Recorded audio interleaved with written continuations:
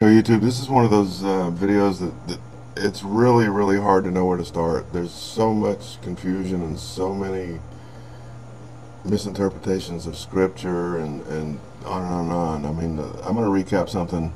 Um, Justice Fighter pointed out the other day that Kleck and uh, Spear, um, Spear being Kleck's right-hand man apparently, and the guy in Colorado that's dealing with the containers and everything, um, Justice Fighter went around the mountain with Spear, and um, she made a comment that said, specific example in reference to, uh, you know, Kleck saying bad things and being disrespectful for, towards females. She said, specific example, at 2 hours and 22 minutes, he states, the dragon is female energy. Statements like this saturate the video and other videos of his and always struck me as odd. The main focus of the main focus on his female energy being deviant and of Satan is unrelenting. And then, you know, basically Spears fires back at her and says, you're an angel, the flesh is nothing, the flesh is evil. Um, further, he says, uh, what did Jesus say? Female rival, queen of heaven. It is what it is because Jesus the everlasting Father spoke it. So it looks like your issue is with L. You are not a female. You are not male. You are a fallen angel. Utter insanity. Okay, and with that, I just want to point out that Genesis 1.26 says, And God said, Let us make man in our image, after our likeness, and let them have dominion over the fish of the sea, and over the fowl of the air, and over the cattle, and over all the earth, and over every creeping thing that creepeth upon the earth. So God created man in his own image, and in the image of God created he him. Male and female created he them. And so with that, Kleck and or Spears is smoking crack because, you know, this is what Kleck teaches, and Spears backing him up. So they both uh, need to go into rehab or something. Okay, and here's another comment that I just got today. Uh, Justice Fighter said that uh, he said that the Holy Mary, Mother of Jesus, was a devil bug locust. Shame on him defiling what is holy. Now, Justice Fighter, she's not Catholic and she's not, um, you know, worshiping Mary, uh, you know, Queen of Heaven style or anything like that. But but we all should have respect for Mary. I mean, the one that found favor with God. My reply was, what? You mean the same one that found favor with God? Total insanity. Then Justice Fighter replies, yeah. He said, just flip her upside down and look, you have a bug. Logic of the insane. And I just replied, you know, that's about as sick and demented as it possibly could get. To say such a thing about Mary, I can't even imagine standing before God having to explain that not so little comment. Kleck will be held accountable. Okay, then she goes further and she shares a comment that she posted that was removed. I went through and looked for this comment and I couldn't find it. So she has copied and pasted it here. You guys know my eyes give me a lot of trouble. So I'm going to have to have my computer read this. So hang in there and um, we'll give this a go here. At 75 colon 19 you did finally start to tell the story of Gideon defeating the Midianites. But before that, you mostly described your experience in the alley as being the same as when Gideon spoke to an angel, and then came to the realization that he himself, was an angel. 56 colon 55 you said, so even Gideon had his moment where he went, oh my gosh I'm an angel. But this is not scriptural, that is not what happened, at 70 colon 05 you say, so just like Gideon, Gideon perceived that he was an angel of the Lord.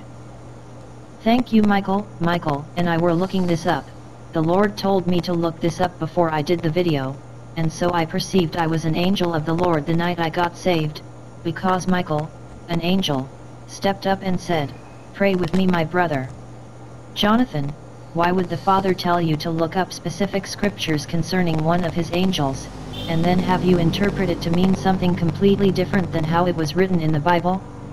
Since I know that the Father is not deceptive, that just leaves you. If this is what he told you to say, I'm sure he also would have revealed to you, the exact same premise of the story found in Judges 13 15-23. That way you could use it as another example, of when we suddenly realize we are angels, like the way it happened for you? But again, I know that the Father would not tell you to twist scripture in order to convey a certain message. I repeat, the Father is not deceptive, so that only leaves you suspect. Gideon did not suddenly realize that he himself was an angel, just like you did. That is nowhere close to the true meaning of those verses. Would you care to clarify exactly how you arrived at this determination? Please address this to your viewers. Okay, excellent comment. So now I could not find her post. I think she's right. But I did find one very, very similar. And she said that she goes further later. And she says that uh, she had actually posted this earlier. And um, that, you know, this is basically a duplicate of what she had posted. Okay, so what's going on here is, is Kleck is taking a, a, a crazy liberty with the text. And he's trying to say Gideon realized that he was an angel, and it's not at all what Gideon said. All he was trying to do is verify that the angel that was talking to him was an angel. Okay? So this is proven that Jonathan doesn't even have the uh, ability to interpret scripture correctly, much less be a prophet. I mean, what kind of prophet can't even um, interpret scripture? Here we go. Stick with me, folks. Regarding Judges 6 colon 15-22. I'm still looking for your comment, there are over 500 to go through, but I found this one from John Baptist, three days ago. I think you will find it interesting, and I quote, correct.